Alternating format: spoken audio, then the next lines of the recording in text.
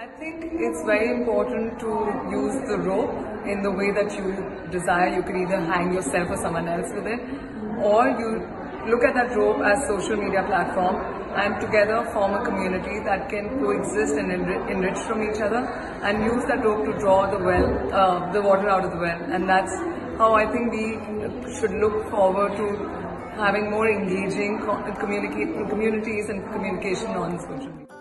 I'm sticking to my niche, which is art. Uh, for me, art uh, speaks a thousand words. Words can wound, art can make you think.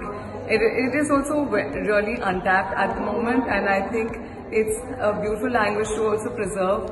And right now, it's it's paramount that we preserve our multi-diversity and culture.